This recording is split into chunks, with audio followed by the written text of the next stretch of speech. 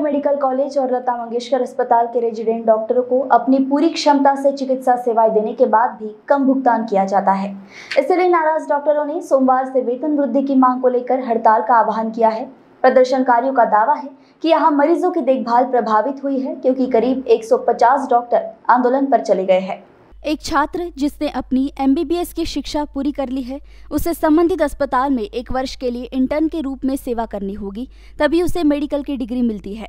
इसी बीच सरकारी मेडिकल कॉलेजों और अस्पतालों में इंटर्न के रूप में सेवा करने वालों को प्रति माह ग्यारह हज़ार रुपये का भुगतान किया जाता है, जबकि निजी कॉलेजों में सात हज़ार से सात हज़ार पाँच सौ रुपये का भुगतान किया जाता है। लेकिन नागपुर के सालवे मेडिकल कॉलेज और लता मंगेशकर अस्पताल के छात्रों को केवल तीन हज़ार रुपये का भुगतान किया जाता है। एक साप्ताहिक अवकाश काटने के बाद भी डॉक्टरों को ढाई हज़ार ही वेतन मिलता है। रेजिडेंट डॉक्टर ने समय समय पर कॉलेज प्रशासन से वजीफा बढ़ाने का अनुरोध किया। हालाँकि प्रदर्शनकारियों का दावा है कि उन्होंने आखिरकार हड़ताल शुरू कर दी है, क्योंकि उन्हें पिछले दो महीनों से ये नहीं मिला है।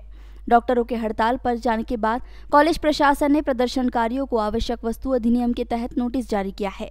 डॉक्टरों के और अधिक आक्रोशित होने पर हड़तालियों ने बुधवार को यहाँ आंदोलन तेज करने की चेतावनी दी है। वर्तमान में यहाँ करीब 150 रेजिडेंट डॉक्टर है।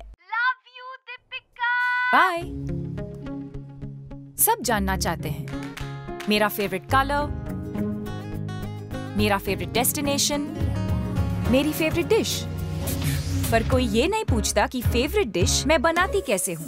अरे यार। जिसे टेस्टी खाना पसंद है वो अच्छे टेस्ट तक पहुँच ही जाता है। सुरुचि मसाले। खाने में हो रुचि तो घर लाइए सुरुचि।